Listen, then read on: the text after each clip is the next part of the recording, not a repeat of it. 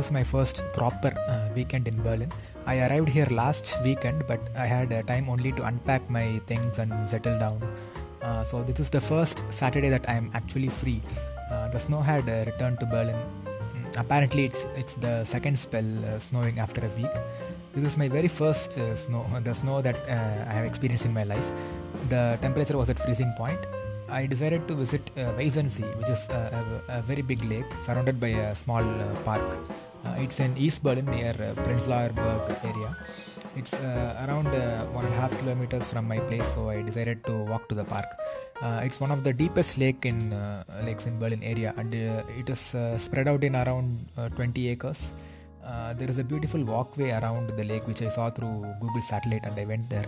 Uh, due to snow, the pathway was very slippery, and my shoes, uh, you know, they were bought for 300 rupees in Chennai, India. If we convert it to euros, that will come around 3 euro 50 cent. So 3 euro 50 cent old shoes, and I can only watch people jogging and running with their dogs. I wonder how they do it in such weather because uh, the breeze is. No, it, it's such a mood killer. The way it hits my eyes every time I step out, it you know, it's not enjoyable.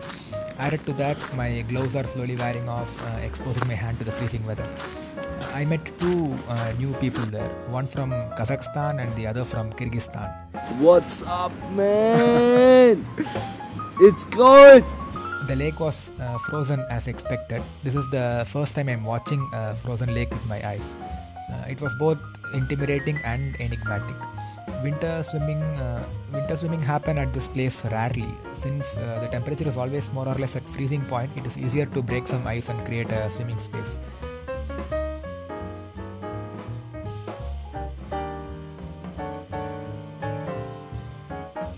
I really love the pedestrian pathways of uh, Berlin. I love to have long walks, and uh, uh, the place in my home country doesn't offer the facilities for walking. I make, of course, I, I make less carbon footprint, move at a slow speed, yet I am not given the first priority in the road there.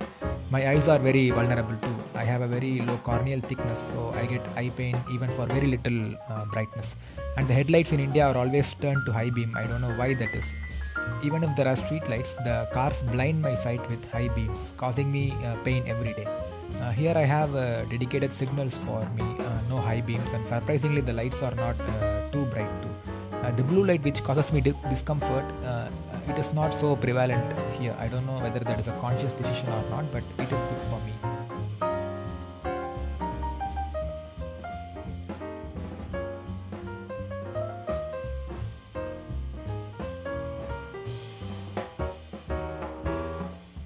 On the way uh, return, I saw Indira Gandhi Strasse. I know that there is a street named after Indira Gandhi near where I live, but I didn't expect that I would accidentally come across it. Indira Gandhi visited East Berlin in 1983. East Berlin was at that time inside GDR, uh, which is German Democratic Republic, uh, the East German state that existed from 1949 to 1990 during the Cold War. Indira Gandhi came here uh, one year before uh, she was assassinated in India. So after her assassination, the government of GDR honored her by naming it, you know, the, naming a street after her. Uh, It is not a new street, by the way. Historical records show that this street existed even before 1870s. Uh, at that time, it was called uh, Lichtenberger Way, uh, and since 1985, it is called Indira Gandhi Strasse. Uh, on the way, I saw the you know, the two friends whom I met in the lake again. Uh, they were waiting for the taxi. Hello. We meet again. Sind wieder hier, ne? Berlin City with Boys. Euer Freund aus Indien, ne? Ist unser Freund. Ist gut. Ist fünf Tage hier, aber German ist gut. Äh, das, mein Freund ist India, I'm Kyrgyzstaner, das ist Kasachstaner. aber wir sind Menschen. I was in Anti-War Museum in West Berlin area four days back.